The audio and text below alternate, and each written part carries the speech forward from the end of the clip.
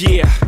Yeah, I'm out at Brooklyn. Now I'm down in Tribeca, right next to the Narrow. But I'll be hood forever. I'm the new Sinatra